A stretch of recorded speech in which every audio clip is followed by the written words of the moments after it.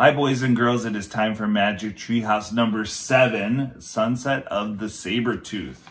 We are in chapter two, and of course, Annie wished to go somewhere without them even be prepared. They're going to a snowy place in their swimsuits. Chapter two is called Bones. Jack, Annie, and Peanut looked outside. Snow was falling from a gray sky. The treehouse was in the tallest tree in a grove of tall bare trees. The grove was on a wide white plain. Beyond the plain were high rocky cliffs. I'm cold, said Annie, her teeth chattering. She wrapped her towel tightly around her. Squeak! Peanut sounded cold too. Poor mouse, said Annie. I'll put you in Jack's pack. You'll be warmer there. Annie slipped Peanut into the jacket or into the pocket of the pack, backpack. We've got to go home, said Jack. We need warmer clothes.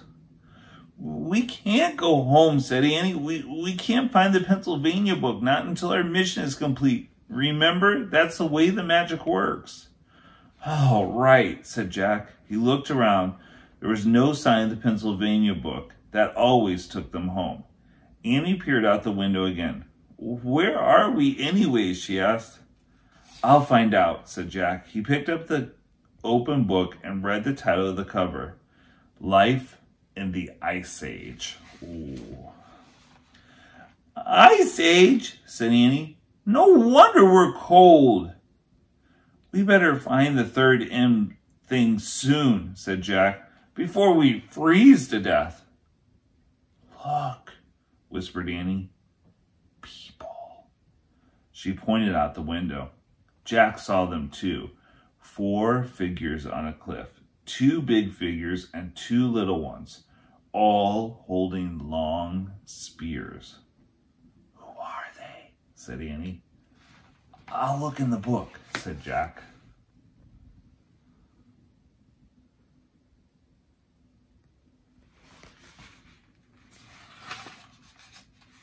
He found a picture of some people. He read the caption to Annie. Early modern humans were called Cro-Magnons. During the late Ice Age in Europe, they sometimes lived in caves beneath cliffs. Why are they carrying spears? said Annie.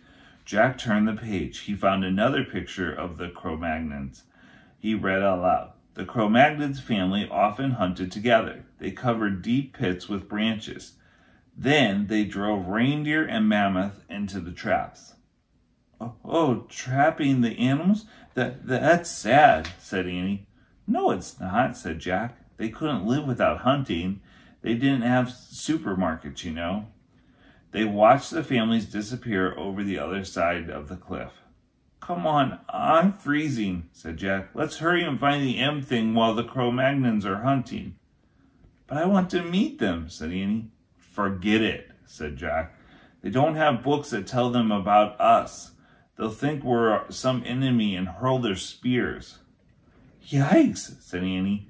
Jack put his book away. Squeak! Peeny Peanut peeked out of the backpack. Stay in there, said Annie. Jack pulled on his pack and started down the rope ladder. Annie followed. On the icy ground they huddled together. The wind was biting. Jack put his towel over his head. Snow blew against his glasses. Hey, Jack, said Annie. Look at me. Annie had put on her swimming goggles. Now I can see, she said. Good thinking, said Jack. Now cover your head with your towel. Most of your body heat is lost through your head. Annie wrapped her towel around her head. We should find a cave or some someplace warmer, said Jack. I bet there are caves in those cliffs, said Annie. She and Jack started across the white plain. The snow wasn't deep yet, but the wind was blowing hard. I told you, Annie pointed to an opening in the rocks, a cave. They ran to it. Careful, said Jack. They stepped carefully into the shadowy cave. It was also slightly warmer inside, but at least the wind wasn't blowing.